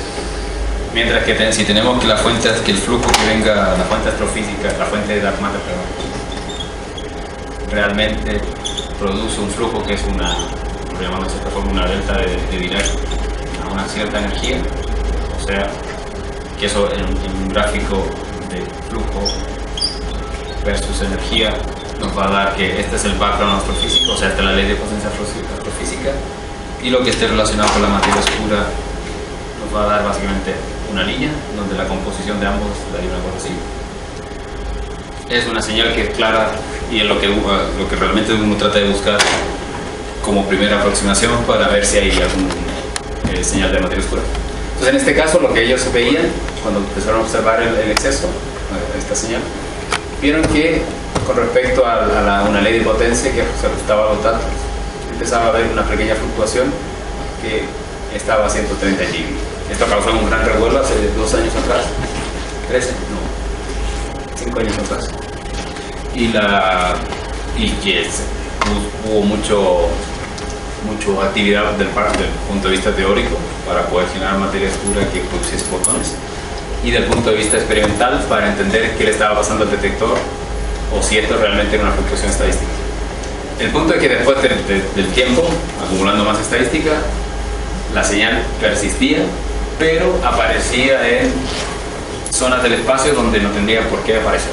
Por ejemplo, si el detector, si Fermi, que es un detector de, de rayos gamma que está en el espacio, lo voy a, voy a dibujar aquí. Entonces, digamos, lo que ellos observaban, vamos a dibujar aquí Fermi con un. Fermi. Entonces ellos lo que primero observaron que aparecía esta línea cuando apuntaban hacia el, centro galáctico, en la Vía Láctea. Empezaron a ver que tienen una línea. Pero después se dieron cuenta que esta línea también aparecía si, como Fermi está sobre la Tierra, con la Tierra, y la atmósfera de la Tierra, si Fermi empezaban a apuntarlo hacia lo que se llama la, el Earth Limb, que sería como la penumbra de la Tierra, que lo, esta señal seguía apareciendo. Apare- Seguía apareciendo un, exceso de fotones de 130 GB. Y eso después de un tiempo se entendió que realmente era un problema del detector. El detector estaba mal calibrado para esa, para esa energía, dando el efecto de, de- de exceso como si fuera una señal que en realidad no estaba. Entonces esto fue un, un- un proceso de aprendizaje para la gente de Fermi que realmente le, le sirvió porque ahora el detector es mucho más sensible y saben autocalibrar y, y mejorar la señal por mucho. Bueno, cuando siguieron estudiando las líneas, ahora ya con, con mejor entendimiento del detector, eh, estimaban la, cuánto es la contribución de las líneas de, sobre lo- el flujo de rayo gamma hacia el centro galáctico. Y lo que observaban era que lo único que podían obtener eran cotas sobre cuán fuerte tenía que ser la señal de materia oscura. Y esto es lo que está aquí en estos, en estos dos plots. Que esto es un, los constraints sobre la aniquilación de, de materia oscura en dos fotones, en dos líneas, en, dos- en fotones monocromáticos. Y esta es la masa de la materia oscura. Cualquier cosa que esté por arriba de, de esto ya, ya hubiera sido visto, entonces en este caso, en este contexto, significa que estas regiones están excluidas por este tipo de procesos. Lo mismo acá. Esto lo único que cambia entre un proceso y el otro es que es el tipo de distribución de materia oscura que usan, pero básicamente están, los constraints son muy parecidos. Parten en día a la menos 29 eh, centímetros cúbicos por, por dividido por segundo y son casi compatibles, entonces lo único que pudieron obtener, en vez de buscar materia oscura, solo pudieron eh, generar eh, cotas sobre cuán brillante tenía que ser la materia oscura, si no ya se hubiera sido descubierto. Pero bueno, pasando, Pero entonces no fue, no fue fluctuación estadística, fue un problema del detector. bueno, sí, fue un problema del detector, pero lo que esperaban, bueno, ese, ese podcast que no lo solté. Eh, ellos esperaban que si la señal estaba ahí siempre, iba, iba a ir creciendo con el tiempo, porque se iba a ir acumulando más estadística. Entonces, pero una vez que detectaron la, pudieron entender que estaba pasando algo con el detector y la señal anómala mirando hacia el airplane, de la, donde no debería haber una línea, eh, ya una vez esta señal empezó a desaparecer y ya no. Era una combinación doble, de mal, de mal calibración del detector en esa región y que también era un, cuando, cuando salió la, el alarma de que hoy hay algo aquí, era que era también una fluctuación estadística, un doble efecto. Bueno, entonces sigamos aquí con los con la búsqueda de rayo gamma. Este- Esto es observando otro tipo de target, o sea, otro tipo de objetivos. Y en este caso son las galaxias es- esféricas satélites de la, la Dwarf de Galaxies, que son galaxias que son tienen una componente bariónica tan pequeña que lo más probable es que no emitan en rayos gamma, entonces toda la señal que se observe desde ellas tiene que ser relacionada con el halo de materia oscura. Entonces son objetos que son realmente ideales para estudiar materia oscura, pero el problema es que como son galaxias que son pequeñas con respecto a la, a la- a la Vía Láctea, porque son satélites de la, de la, de la Vía Láctea que son remanentes del, tiempo de la formación de todo el sistema. Entonces, por ejemplo, voy a volver de aquí cerrado. Y explicar. Entonces, por ejemplo, tenemos la, la Vía Láctea que están aquí, está la Tierra viendo con Fermi, y existen estas pequeñas galaxias que, están, que son realmente satélites de la, de la Vía Láctea. En cada una de ellas, la componente de, de variones que hay, o de estrella, componente estelar, es tan pequeño que inclusive se hace difícil detectarla con, con telescopio. Entonces hay que cada vez un análisis más sensible. Entonces, estas galaxias en principio tienen su halo de materia oscura, entonces desde aquí se podrían observar. Pero como decía, están, son tan pequeñas que para Fermi simplemente Fermi no tiene la resolución angular para ver una galaxia así, entonces tiene que integrar todo el flujo de radio gamma que venga de una región donde en principio está la, la galaxia esta.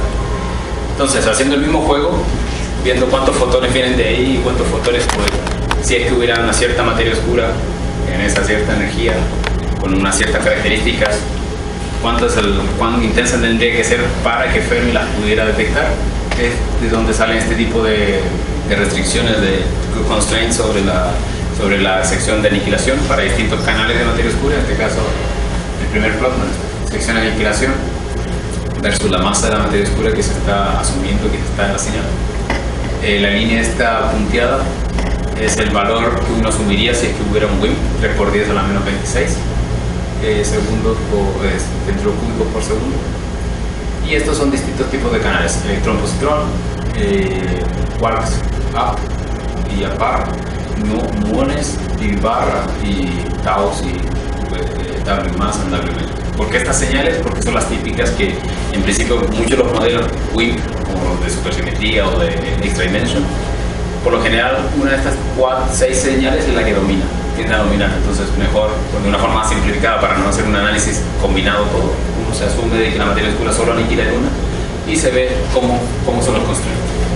Entonces en este caso, como pueden ver, y lo, que, lo importante de este, de este tipo de análisis es que la región donde debería haber un WIMP empieza a ser detectable para este tipo de experimentos. O sea, la región de, de masa que estén entre menos de 50, 50 GeV, por ejemplo, ya son prácticamente eh, accesibles a FER. Entonces, si hubiera una materia oscura que está en esta región, ya debería haber sido detectado.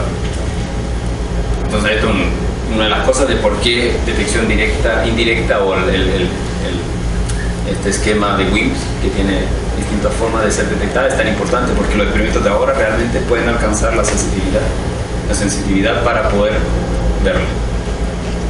Bueno, desde aquí, es, aquí está el mapa de esta, la red Vía Láctea y aquí tenemos las distintas posiciones de las, de las galaxias esferoidales. Lo bueno de, esta- de este tipo de análisis es que, bueno, aquí hay 25, pero con el, el- con el pasar de los años van incrementando el número de galaxias porque los telescopios, por ejemplo, como VOS, eh, son capaces de ir detectando cada vez más, más y más y más eh, galaxias esferoidales y empezar a tener un, un mejor eh, análisis debido a que se pueden acumular más estadística porque hay más galaxias donde analizar.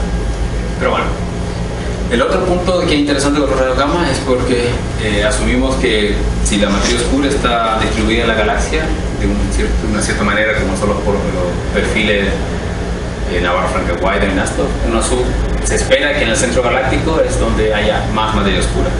Este es, por ejemplo, el análisis que han hecho esta gente de Germán Gómez Vargas, que ellos han fijado a qué está pasando desde la, la Vía Láctea, pero solamente esa región que está ahí, muy pequeñita que va entre 20 y entre 20 y menos 20 grados con respecto al radio en esta región, o sea, una región relativamente pequeña esa zona. Y hacen un análisis detallado, asumiendo de que si hay una componente de materia oscura ahí, ¿cómo se puede ver? En este caso es un poco, tiene dos puntos que son complicados.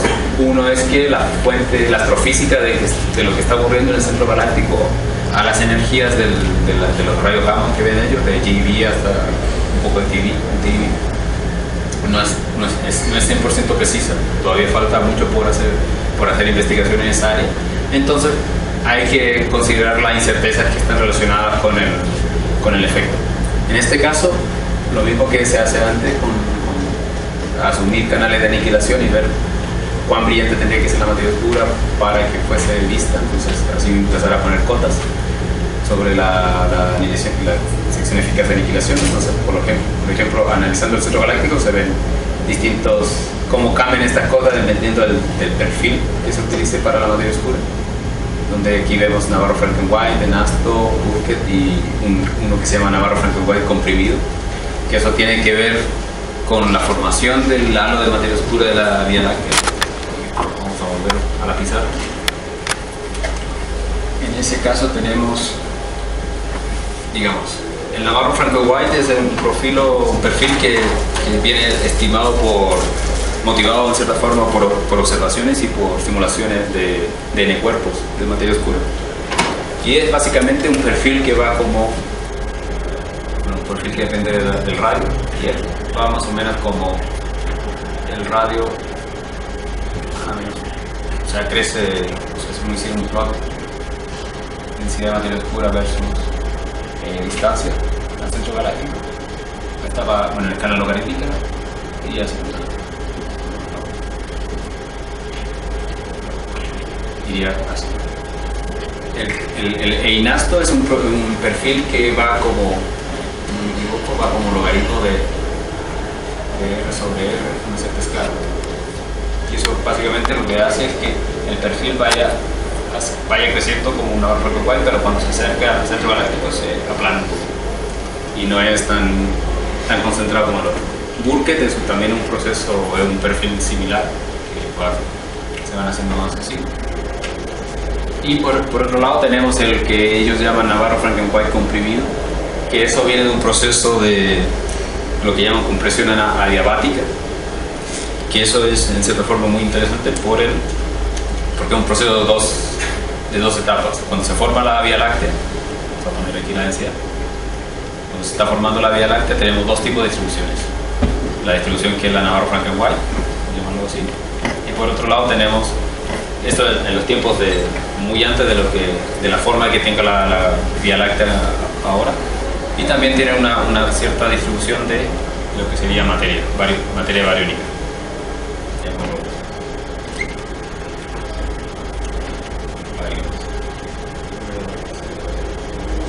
Pero ¿qué pasa cuando, cuando los bariones después de un tiempo siguen evolucionando? Porque siguen interactuando con el gas.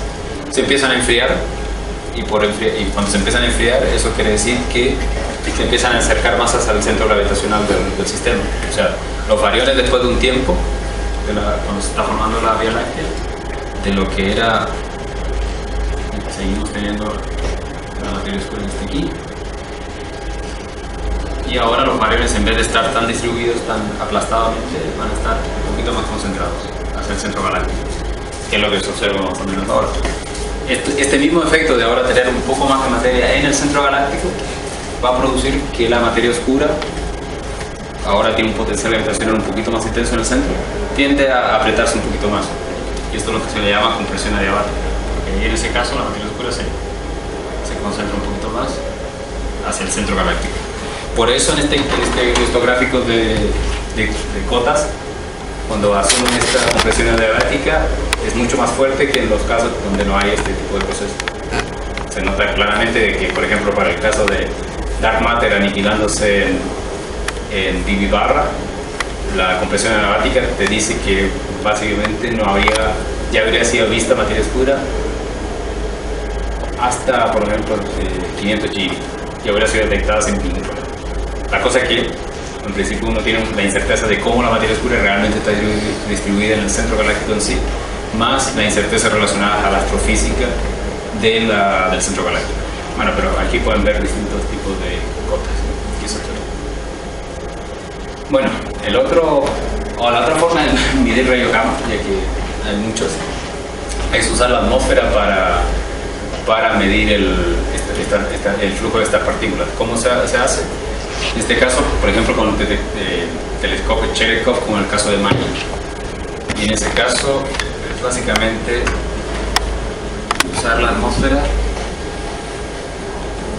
para producir luz Cherenkov, que es, que es detectada por, por estos, bueno, no se ve mucho, pero son, son telescopios que son como unos platos con, con una cámara muy complicada. Pues en este caso tenemos, digamos que es del detector Cherenkov, una parabólica con una cámara CCD sensible a la, a la, luz que genera la, radiación Cherenkov, una luz visible muy parecida al azul, un color azulado. Entonces, y aquí tenemos, por ejemplo, el borde de la atmósfera terrestre. Entonces, cuando llega un rayo gamma, por ejemplo, de un TV, hay una probabilidad grande de que este de rayo gamma interaccione, por ejemplo, con gas, del, gas que hay en la atmósfera, oxígeno, o sea. Y cuando ocurre esto, este, este, este núcleo se forma un, una, un shower, o sea, un- una cadena de caídos que van bajando. La cosa es que la mayoría de estas partículas que están aquí, dentro de todo, hay varias que son cargadas, como los muones. Y estos muones, en este contexto, como ahora la atmósfera es un medio, va a producir radiación de Cherenkov. Esta radiación de Cherenkov, básicamente, la va a concentrar y va a generar una imagen relacionada con esto. Entonces, sabiendo cómo es la, la- distribución de la, de la radiación de Cherenkov y la, evolución temporal de este shower, son capaces de estimar cuál es la energía, cuál es la energía que tiene el rayo gamma al entrar, a la entrada, o si es un protón o si es otro tipo de partícula. Esto lo hace muy interesante porque tienes un telescopio a, a nivel de tierra, o sea que puede ser mejorado, y puedes observar eh, energía que son más grandes de la que es accesible usar, que puede ver Fermi. Entonces, en este caso, ellos también hacen un análisis sobre estas galaxias esferoidales, pues, especialmente SEG-1, y estas son las cotas que obtienen ellos pero para la predicción eficaz de aniquilación versus la masa de la materia oscura. En este caso, si, ves, si se comparan con Fermi, Fermi parte entre 5 GeVs y llega hasta 2 TeVs más o menos, mientras que en este caso Magic parte en 100 GeV y puede llegar a 10 GeV. O sea, una ventana un poquito más grande, que es complementaria a Fermi, pero también se extiende a zonas donde Fermi no es capaz de, de ver rayos gamma. Entonces, ellos, estas son las cotas que obtienen. Todavía eh, les falta más sensitividad y más tipos de, de- más número de detectores para poder en- entrar en la región donde eh, posiblemente podría haber un, se podría observar un WIMP, que es 3 por 10 a la menos 26, sería acá. Pero ya con, ahora con el nuevo, con el desarrollo de CTA, que es un detector de Cherenkov, a gran escala realmente, esto va a ser un poco más fácil y, y esperemos tener noticias de, de esto. Otra forma, bueno, estos son los, otra forma de ver el rayo gamma es, por ejemplo, lo que, lo que, lo que pasa acá con Hawk, que acá en- son tanques de, de agua que están sobre una meseta acá en México, no me acuerdo el nombre de la, de la meseta. Eh, ¿Alguien sabe el nombre? Sierra Negra. La Sierra Negra es otro. En la Sierra Negra que entonces ellos son también capaces de empezar a estudiar límites sobre la materia oscura, también del mismo target que, que tiene Magic, que es más simple para, para ellos a la entrada de energía que son accesibles. Entonces en este caso tienen la la sección eficaz de aniquilación, la masa de la materia oscura en TeV, ¿sabes? Para compararlas con esta, estas están en GeV. Y como pueden ver, esto es, son por ejemplo las cotas que produce Fermi Y estas son las cotas que, que podrían, las, las azules son las cotas estimadas. En este caso todavía era un, un análisis previo, ahora ya tienen datos sobre, sobre análisis sobre red gamma, pero estas son las cotas que pueden este, empezar a estimar en el, con análisis de tipo de, de, de objetivo con la serie humana. Bueno, ahora para. No sé si terminar. O sea, ¿cuánto tiempo tengo para, para rápido? Ah, sí, horita. Bueno, entonces ahora pasamos a otro tipo de, de astropartículas, que son las búsquedas en radio. En este caso se- se- son similares a las, de, a las de rayo gamma, pero agrega un efecto doble, que tienes que considerar cómo se propagan las fuentes de, cómo se producen los, la onda radio que vienen de los rayos cósmicos. Y aparte la- el efecto que tiene que ver con que ahora es un, un análisis direccional porque sabemos de, de qué parte del espacio está viniendo la señal radio que estamos observando. Entonces en este caso lo primero que tenemos que saber es cuál es la escala de, de frecuencias en la que vamos a trabajar. En este caso es muy importante ver el, el- que esto viene de la, de la emisión sincrotrón de- una partícula cargada, un electrón en este caso. Por ejemplo, aquí tenemos la, la- la potencia de emisión en hertz, segundos y megahertz. Y aquí tenemos el logaritmo de la frecuencia. Esto quería decir que en megahertz. Eso quiere decir cuando estamos aquí estamos a un megahertz y cuando estamos acá estamos en los gigahertz. La onda, el- el- la frecuencia del, del, del Wi-Fi está en esta zona. Realmente está en la misma zona donde tenemos las antenas de televisión y, todo eso. Entonces, a veces puede ser complicado poder tener una señal completamente pura, pero se logra yendo a lugares muy aislados del, del planeta. Pero bueno, por ejemplo, estos, los colores quiere decir la energía de la partícula que estamos asumiendo. Por ejemplo, en este caso la curva azul significa electrones que tengan una energía cinética de 10 GeV y esta es la potencia de emisión asumiendo un campo magnético de 3 microgauss. Como pueden ver, no es una señal monocromática, no es una, una señal, sino es una señal que está distribuida en, en un rango de frecuencias. Y estas flechas que están acá son los, la frecuencia a la cual hay telescopios o radiotelescopios que están observando, pueden observar o ya han observado señales. Entonces, en este caso, eh, dependiendo si consideramos que hay más campo magnético o menos campo magnético, la señal se hace más fuerte o más ligera. También hay un pequeño desplazamiento hacia grandes frecuencias. Y si cambiamos la energía del electrón a una energía un poco más grande, por ejemplo 100 GeV, ahora el máximo de emisión va a estar en la región donde esto. Estas son las, las frecuencias que observa, bueno, en este caso son las que observaba WMAP. Las de Planck están en la misma región y todos los experimentos de, satélites que miran el punto cósmico de microondas están más o menos en esta región.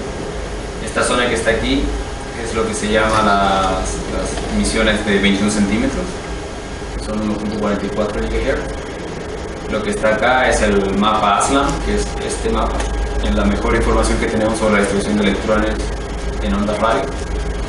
Y lo que están acá son experimentos, son observaciones a 20 MHz y cosas así que son más antiguas. Pero bueno, también se pueden hacer los mismos constraints que la materia oscura.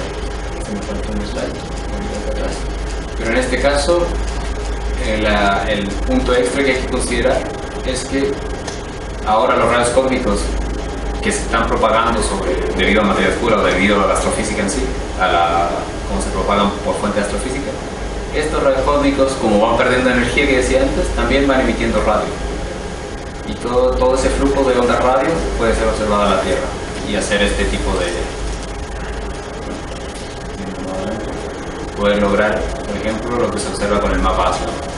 El centro galáctico está aquí, se emi- emite mucha emisión en sincrotrón, pero también tenemos otras islas que están relacionadas con, eh, creo que este era, este era el Crab Nebula, la, la nebulosa del cangrejo. Exacto. Por, por otra parte tenemos, eh, bueno aquí no se ve, pero eh, tenemos eh, Vela, el- supernova, otras zonas que son activamente de radio. Entonces esto entrega mucha información extra que es lo que se puede observar en rayos gamma. Entonces, por ejemplo, uno puede hacer el mismo juego, asume que tiene materia oscura, propaga estos rayos cósmicos y empezar a tener, a poner constraints o cotas sobre la sección eficaz de aniquilación. Por ejemplo, en este caso para el canal Bill barra, para distintos modelos de propagación, y lo que uno obtiene en este caso es que las ondas radio dan este tipo de constraint y el constraint que da Fermi en rayo gamma para, la misma, para el mismo canal de aniquilación son mejores porque tienen mejor sensitividad que las ondas radio en este caso, entonces uno podría decir, bueno, para que hacer análisis de ondas radio, si es que Fermi puede hacer un trabajo más fuerte, mejor en el caso de, de constraint sobre materia oscura. Pero si uno se va a otros tipos de canales, por ejemplo en el canal de materia oscura yendo a muones, en este caso las ondas, el análisis de ondas radio es hasta 80 GeV, por decirlo así. Es mejor y es más sensible a lo que está pasando con la materia oscura que lo que es capaz de hacer Fermi. Esto es por qué, esto viene, por qué para este canal muon el radio es mejor y para el canal de quarks B es mejor Fermi. Eso tendría que estar, no sé si alguno, alguno de ustedes tiene una, una idea de por qué tiene que ser así ese canal que es tipo quark es mejor para radio gamma y el canal tipo tipo muon es mejor para radio en principio. Como lo poníamos antes tenemos la aniquilación. Este era muones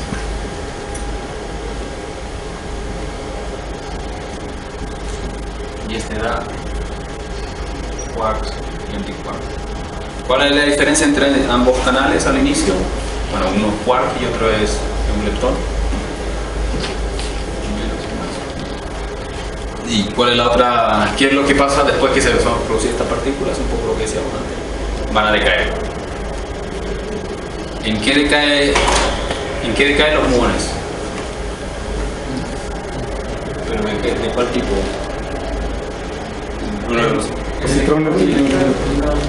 en electrones, positrones y electrones, y los neutrinos. Los neutrinos para la onda radio son invisibles, pero los electrones son las partículas más eficientes en producir sincrotrón, porque la emisión de sincrotrón depende, eh, por lo general la pérdida de energía es proporcional a, la, a uno sobre la masa de la partícula. Por ejemplo, protones emiten menos sincrotrón que los electrones, a pesar de que ambos son cargados, solo debido a la, a la, masa.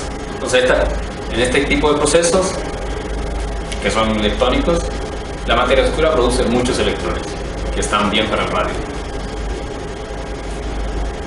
que son ideales para el radio.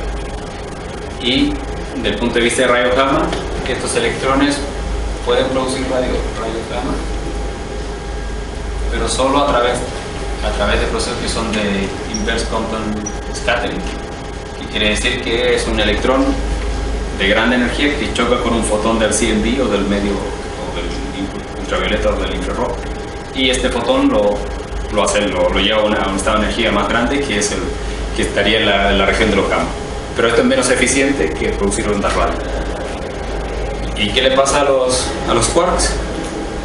¿cómo decae un quark B? o cómo esto evoluciona hasta... Acaba dronizando, ¿no? Exacto, va dronizando y, y cuando algo adroniza, lo que realmente, bueno, efectivamente lo que está pasando es que esto cuando se van separando va a empezar a aparecer muchas partículas y la mayoría de estas partículas van a ser eh, piones neutros. Y los piones neutros les gusta decaer 100% en fotones y estos fotones van a ir en el rango de, de radio gamma. Y lo bueno es que como este es un proceso de armonización,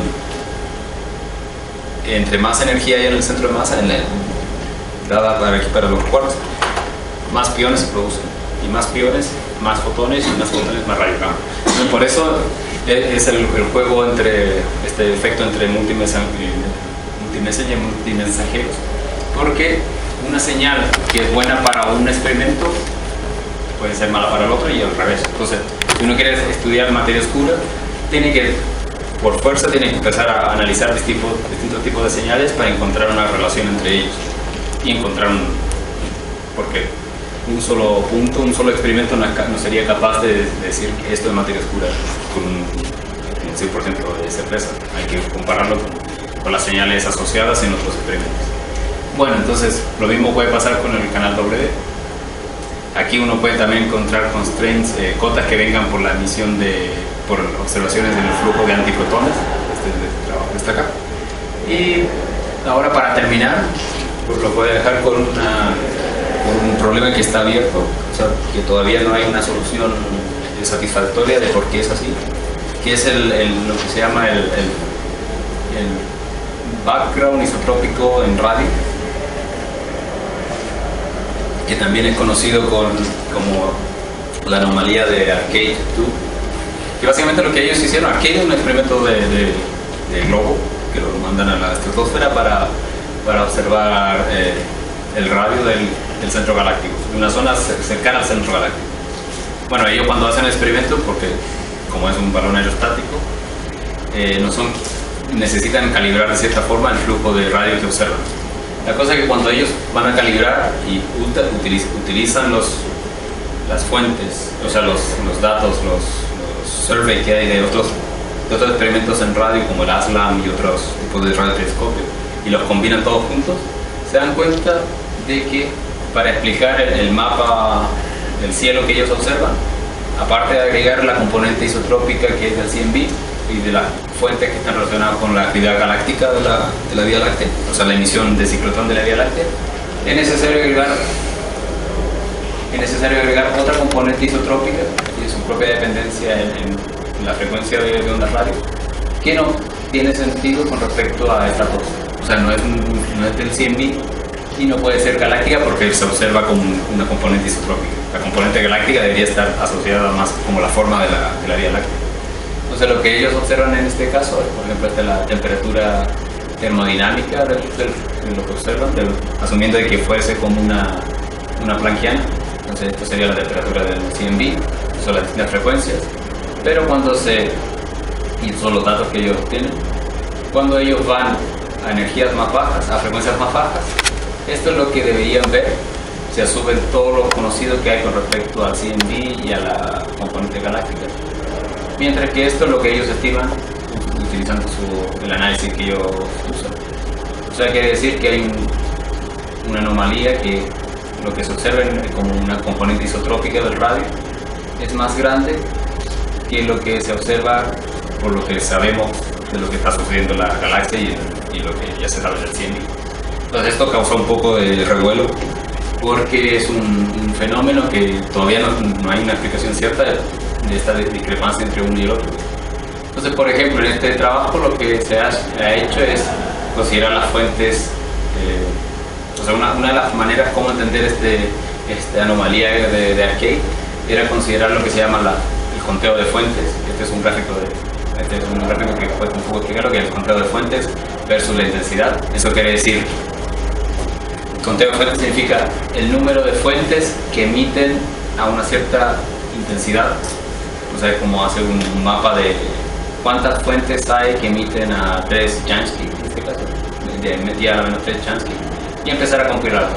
La cosa es que hay, hay distintos tipos de poblaciones, como eh, núcleos activos galácticos, IGL, o una componente galáctica, o en este caso, una componente de materia oscura que podría ayudar a, a completar lo que se sabe a lo que podría ayudar con una componente subtrópica.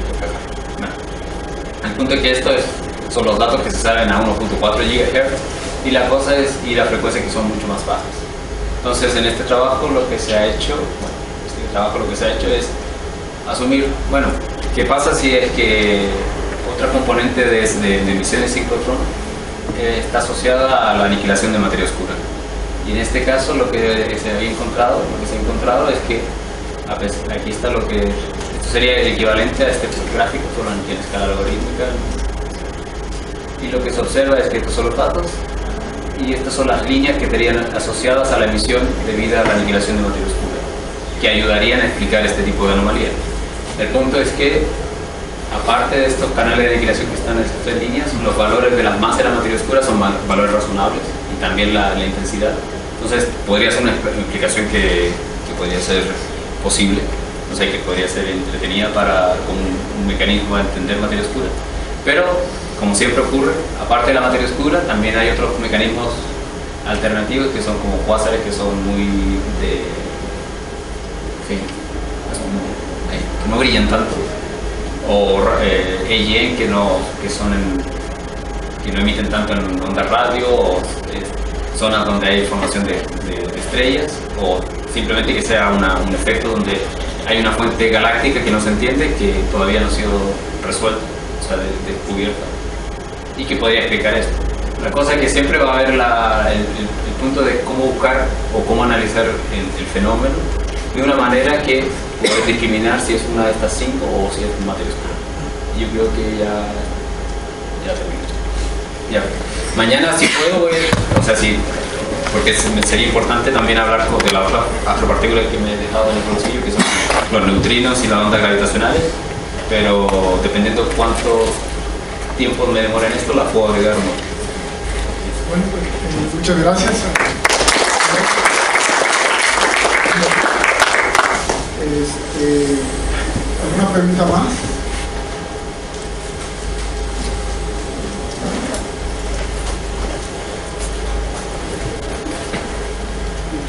pregunta respecto a la última anomalía esta. Eh, por un lado, bueno, si la han encontrado en radio, nos esperarían también ver algo en electrones o positrones, incluso que correspondiera.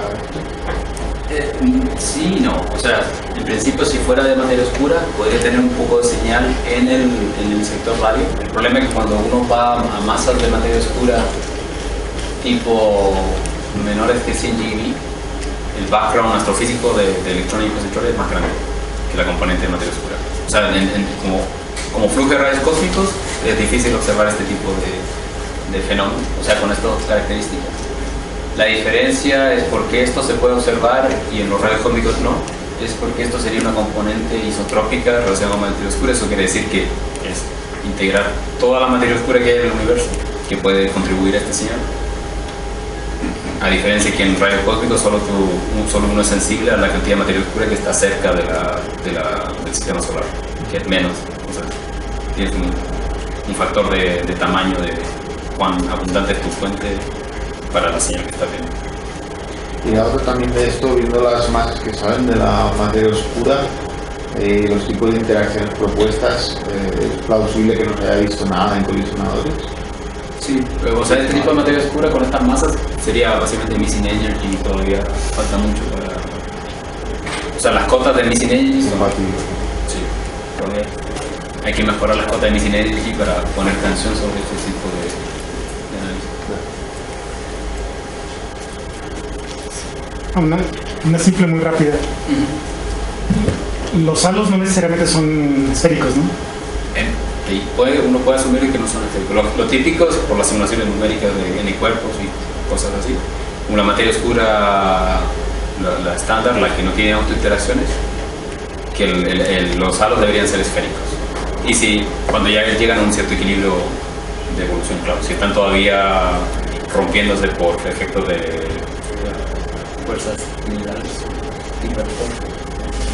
de mareas como fuerzas de bueno, cuando tienes dos objetos gravitacionalmente que uno pasa cerca del otro, se roba un poco de la materia del lado de la, la materia oscura y ahí empiezan a, formarse, a, quitarse, a hacer merging.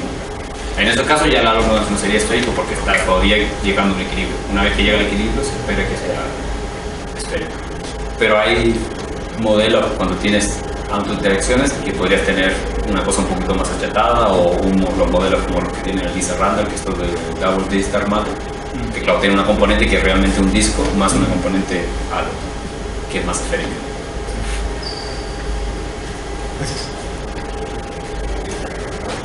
Eh, ¿Alguna otra pregunta?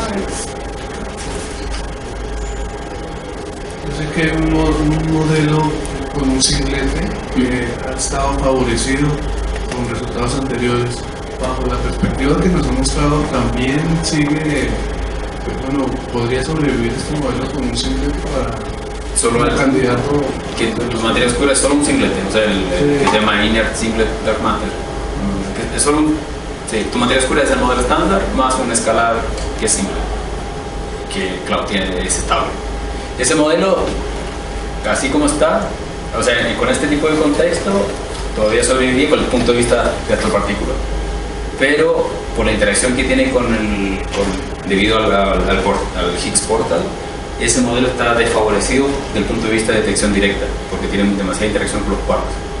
O sea, yendo aquí a la pizarra, el modelo este que, que tú me comentas es el modelo que se llama Inner Simple Dark Matter y es básicamente, desde el punto de vista de física de partículas, sería el lagrangiano del modelo estándar más la componente que es la materia sea, ese,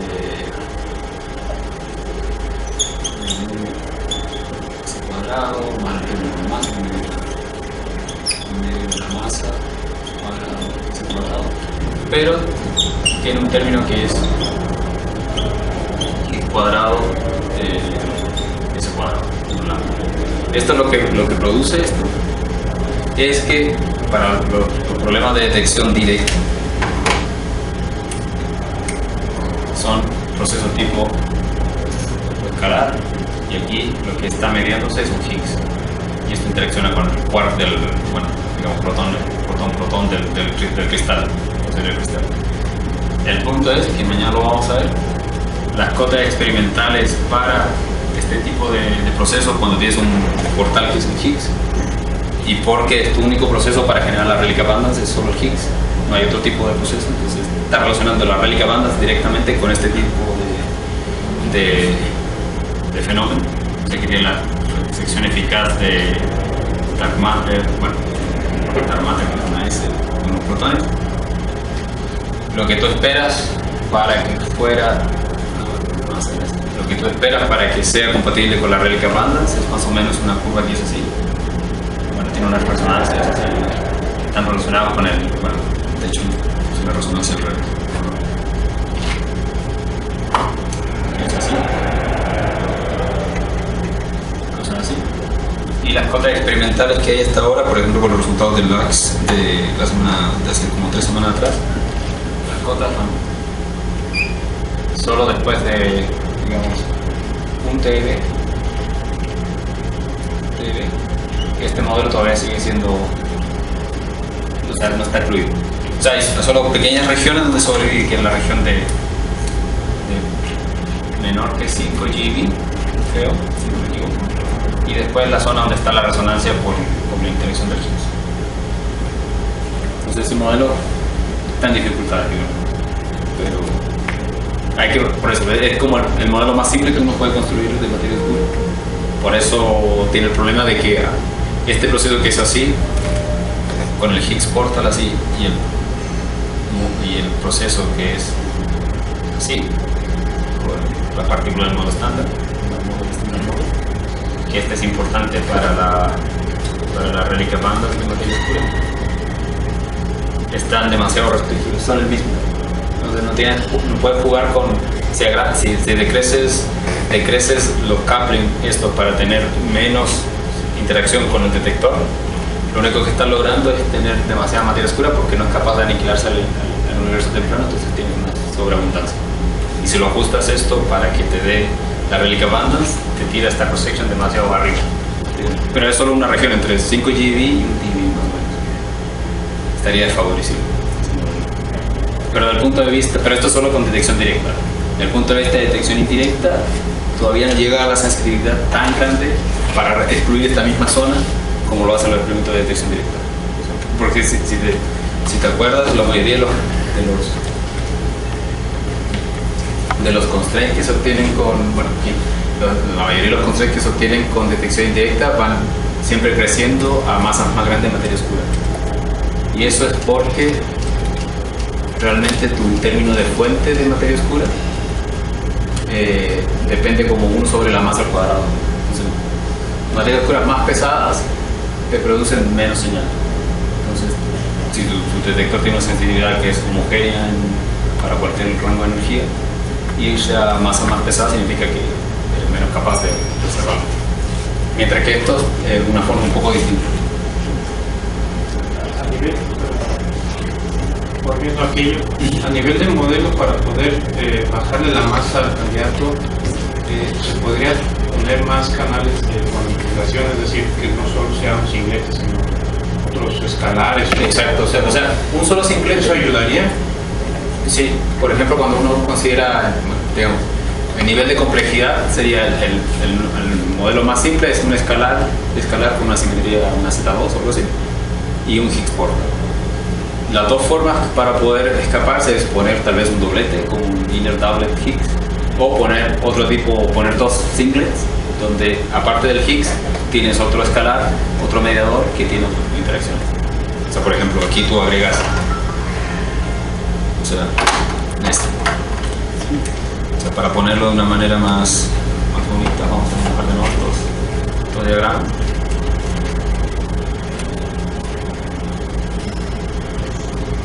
En el modelo simple,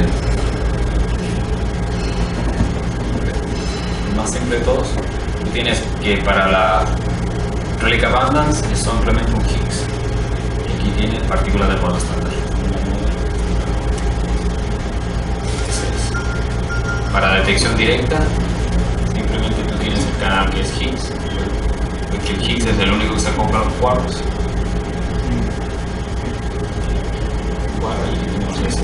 que es el scattering. Si tú agregas otro, otro mediador, por ejemplo otro escalar, más un S2, puede o no puede tener la simetría de estabilidad, simplemente un mediador para participar en el potencial escalar. En este caso tú tienes que, podrías tener, el- aparte del H, tendrías el, el S2 como mediador, aquí modelo estándar, modelo estándar, pero lo puedes ajustar para que aquí este proceso, que sería la suma con el, con el S2, tú lo puedes ajustar para que este término no, no exista. No existe un acoplamiento entre escalar y los quarks, solo por la mezcla con el Higgs. Entonces, en ese sentido, puedes liberar todo el, espacio de parámetros. Ya no lo tienes tan amarrado, no está tan amarrado el, el la relic abundance con la, con la direct detection, con la señal de detección directa. Lo puedes hacer agregando un escalar más, o lo puedes hacer agregando, en vez de que sea un escalar, un doblete o agregando un fermión con un escalar como mediador. y- o sea, el modelo más simple está en problemas. Cualquier otro tipo de variación ya está mucho más libre de moverse sobre el espacio parámetro y satisfacer todas las, las. Bueno, entonces este, con esto concluimos, eh, eh, de hecho, a Roberto.